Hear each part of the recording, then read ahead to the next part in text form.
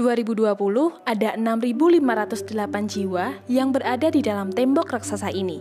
Kira-kira siapa ya yang tinggal dan ngapain aja mereka dalam tembok sebesar ini? Saya Nisa, sekarang saya ada di Baluarti.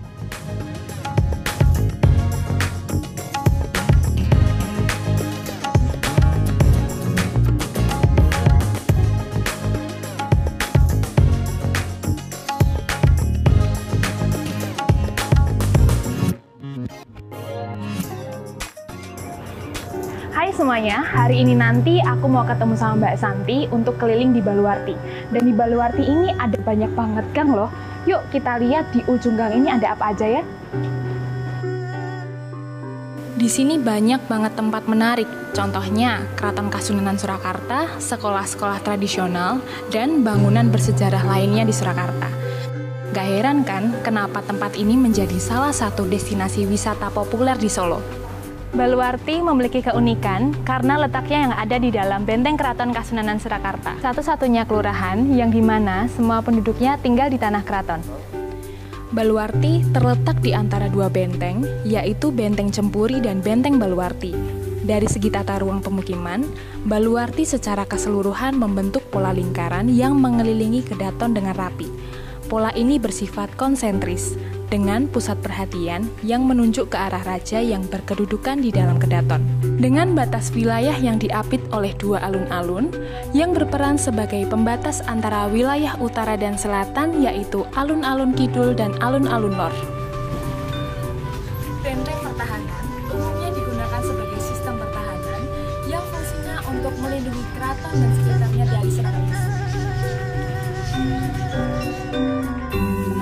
sama Baluarti itu dari nama orang atau dari bahasa mana gitu sih Mbak sebenarnya? Uh, kalau Baluarti ya dari kata bahasa asing okay. gitu ya. Jadi dari dari kata Portugis gitu, oh, Baluarci gitu. Baluarci. Iya, Baluarci. Oh. Tulisannya sih Baluarte ya. Oh, tapi, tapi bacanya Baluarci. Baluarci gitu okay. ya. Itu kurang lebih begitu lah. Mungkin nah. agak ada perbedaan dengan nah. lidah lokal tapi kurang lebih gitu. Nah, karena bunyinya itu kemudian uh, mirip ya dengan Baluarti dan um, ada mungkin ya lidah kita mungkin nggak bisa secara tepat mengucapkan baluarci gitu dari baluarte tulisan baluarte bahasa Portugis maka kemudian ya jadi baluarti itu gitu.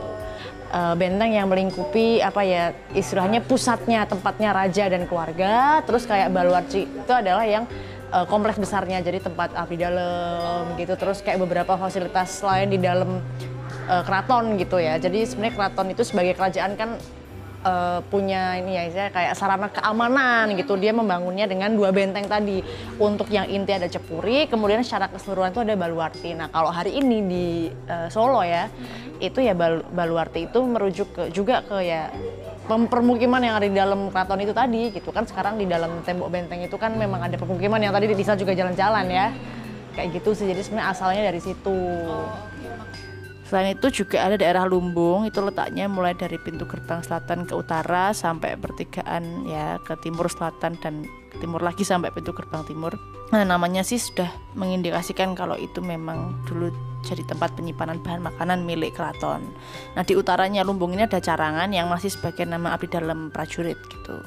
Terus ada tamtaman yang merujuk pada tempat abdi dalam prajurit tamtama. Jadi semacam bodyguard gitu pengawal juga di keraton. Kalau kita lihat di kamus Roda, tamtama itu prajurit yang uh, diperlengkapi dengan pistol, pedang, sebagian diperlengkapi karabin, tombak, uh, dan mengawasi Sri Manganti. Bercerita tentang tembok pembatas mengelilingi manusia yang menghuninya, Baluarti indah dengan segala keberagaman dan baluarti erat tanpa takut dengan tembok yang membatasinya.